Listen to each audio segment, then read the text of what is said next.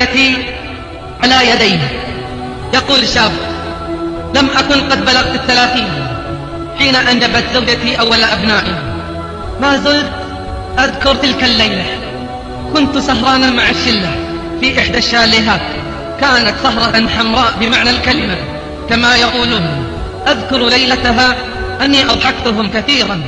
كنت أمتلك موهبة عجيبة في التقليد بإمكاني تغيير نبرة صوتي حتى تصبح قريبة من الشخص الذي أسخر منه. أجل كنت أسخر من هذا وذاك. لم يسلم أحد مني حتى شلتي. صار بعض أصحابي يتجنبني. كي يسلم من لساني وتعليقاتي اللاذعة. تلك الليلة سخرت من رجل أعمى. رأيته يتسول في السوق. والأدهى أني وضعت قدمي أمامه ليتعثر. تعثر. فانطلقت ضحكتي التي دورت في السوق. عدت إلى بيتي متأخرا. وجدت زوجتي في انتظاري كانت في حالة يرثى لها. أين كنت يا راشد؟ قلت في المريخ. ساخرا. عند أصحابي بالطبع. كانت في حالة يرثى لها. قالت والعبرة تخنيقها راشد. أنا تعبة جدا.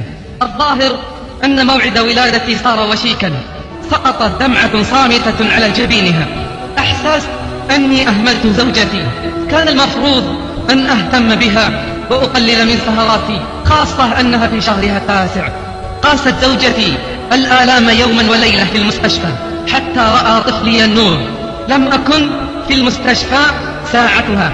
تركت رقم هاتف المنزل وخرجت. اتصلوا بي حتى تعلموني الخبر. ففعلوا. اتصلوا بي ليزفوا لي نبأ قدوم سالم. حين وصلت المستشفى طلب مني أن أراجع الطبيبة أي طبيبة؟ المهم الآن أن أرى ابني سالم. لا بد من مراجعة الطبيبة قالوا لي. أجابتني موظفة الاستقبال بحزن صدمت حين عرفت أن ابني به تشوه شديد في عينيه ومعاق في بصره. تذكرت المتسول؟ قلت سبحان الله كما تدين تدان. لم تحزن زوجتي. كانت مؤمنة بقضاء الله راضية. طالما نصحتني؟ طالما طلبت مني أن أكف عن تقليد الآخرين. كلا هي لا تسميه تقليدا بل غيبة. ومعها كل الحق. لم أكن أهتم بسالم كثيرا. اعتبرته غير موجود في المنزل. حين يشتد بكاؤه أهرب إلى الصالة لأنام فيها. كانت زوجتي تهتم به كثيرا وتحبه. لحظة لا تظنوا أني أكرهه. أنا لا أكرهه لكني لم أستطع أن أحبه. أقامت زوجتي احتفالا حين خطى خطواته الأولى وحين أكمل الثانية اكتشفنا أنه أعرج. كلما زدت ابتعادا عنه زادت زوجتي حبا وتعلقا بسالم حتى بعد أن أجبت عمرا وخالدا. مرت السنوات وكنت لاه غافل غرتني الدنيا وما فيها. كنت كاللعبة في يد رفقة السوق مع أني كنت أظن أني من يلعب عليهم. لم تيأس زوجتي من إصلاحي. كانت دائما تدعو لي بالهداية. لم تغضب من تصرفاتي الطائشة أو إهمالي لسالم واهتمامي بباقي إخوته. كبر سالم. ولم أمانع حين طلبت زوجتي تسجيله في أحد المدارس الخاصة بالمعاقين. لم أكن أحس بمرور السنوات أيامي سواء ليلي ونهار عمل ونوم طعام وسهر. حتى ذلك اليوم كان يوم الجمعة. استيقظت الساعة الحادية عشرة ظهرا. ما يزال الوقت مبكرا أقول لكن لا يهم. أخذت دشا سريعا. لبست وتعطرت وهممت بالخروج. استوقفني منظرة. منظر سالم. كان يبكي بحرقة. إنها المرة الأولى التي أرى فيها سالم يبكي كان طفلا أأخرج أم أرى مما يشكو سالم؟ قلت لا. كيف أتركه وهو في هذه الحالة؟ أهو الفضول أم الشفقة؟ لا يهم. سألته لماذا تبكي يا سالم؟ حين سمع صوتي توقف. بدأ يتحسس ما حوله. ما به يا ترى؟ اكتشف أن ابني يهرب مني. الآن أحسست به. أين كنت؟ منذ عشر سنوات. تبعته. كان قد دخل غرفته. رفض أن يخبرني في البداية سبب بكائه. وتحت إصراري عرفت السبب. تأخر عليه شقيقه عمر الذي اعتاد أن يوصله إلى المسجد. اليوم الجمعة خاف سالم ألا يجد مكانا في الصف الأول. نادى والدته لكن لا مجيب حينها. حينها وضعت يدي على فمه كأني أطلب منه أن يكف عن حديثه. وأكملت. حينها بكيت يا سالم؟ لا أعلم ما الذي دفعني لأقول له سالم لا تحزن. هل تعلم من سيرافقك اليوم إلى المسجد؟ أجاب سالم أكيد عمر.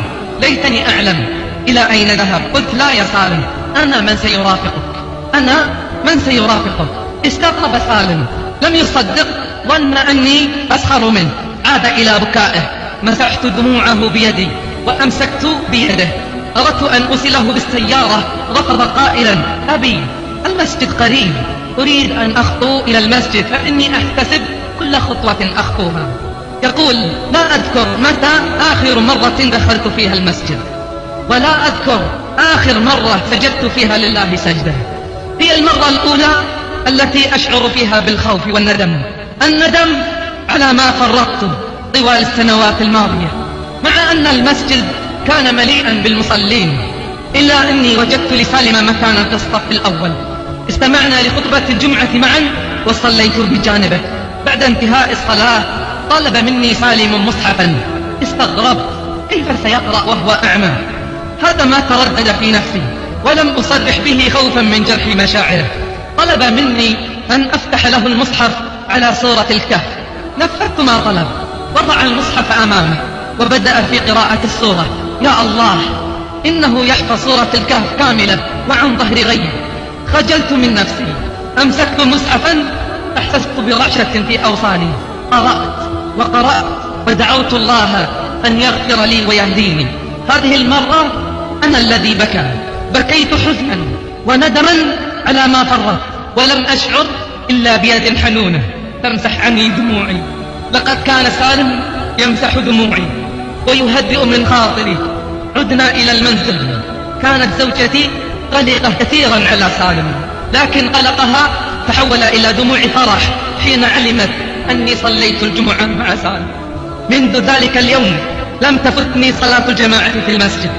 هجرت رفقاء السوء وأصبحت إلى رفقة خيرة عرفتها في المسجد. ذقت طعم الإيمان عرفت منهم أشياء ألهتني عن الدنيا. لم أفوت حلقة ذكر أو قيام. ختمت القرآن عدة مرات في شهر وأنا نفس الشخص الذي هجره سنوات. قطرت لساني بالذكر لعل الله يغفر لي غيبتي وسخريتي من الناس. أحسست أني أكثر قربا من أسرتي. اختفت نظرات الخوف والشفقة التي كانت تطل من عيون زوجتي. الابتسامة ما عادت تفارق وجه ابني سالم. من يرى سالم يظنه ملك الدنيا وما فيها.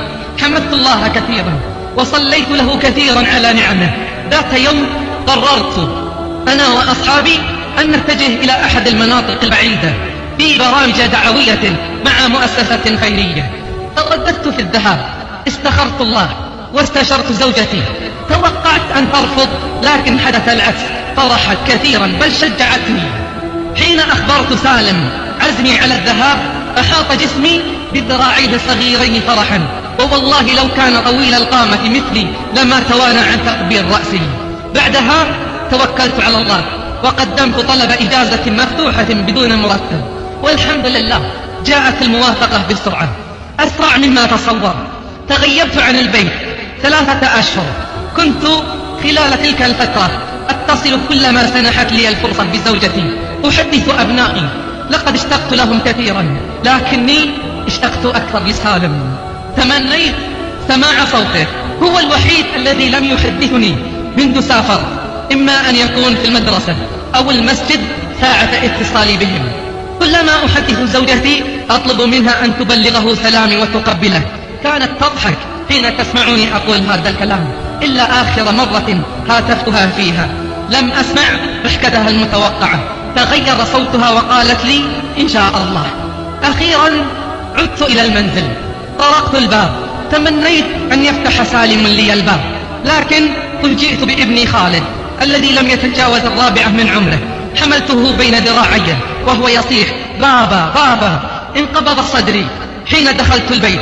استعذت بالله من الشيطان الرجيم. سعدت زوجتي بقدومي لكن هناك شيء قد تغير فيها. تأملتها جيدا. إنها نظرات الحزن التي ما كانت تفارقها. عادت مرة ثانية إلى عينيها. سألتها ما بك؟ قالت لا شيء. هكذا ردت.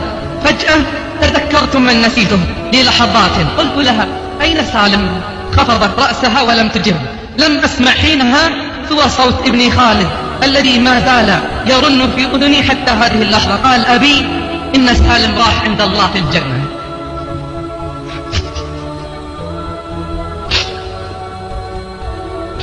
قال أبي إن سالم راح إلى الله في الجنة.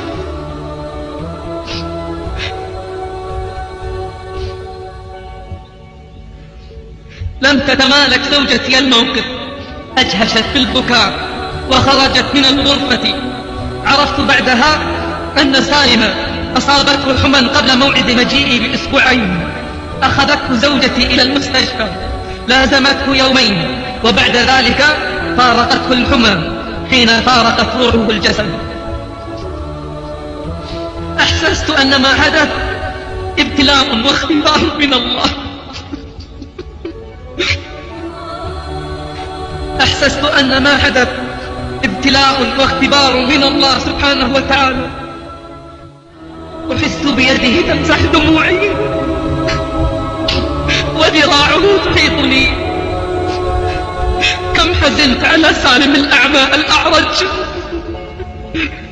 لم يكن أعمى. لم يكن أعمى. أنا من كنت أعمى. حين أنسقت وراء رفقة السوء. ولم يكن سالم أعرج لأنه استطاع أن يسلك طريق الإيمان رغم كل شيء. لا زلت أتذكر كلماته وهو يقول إن الله ذو رحمة واسعة. سالم الذي امتنعت يوما عن حبه اكتشفت أني أحبه أكثر من إخوانه. بكيت كثيرا وما زلت حزينا. كيف لا أحزن؟ وقد كانت هدايتي على يديه كيف لا أحزن؟ وقد كانت هدايتي على يديه اللهم تقبل سالم برحمتك. اللهم إنا نسألك الثبات.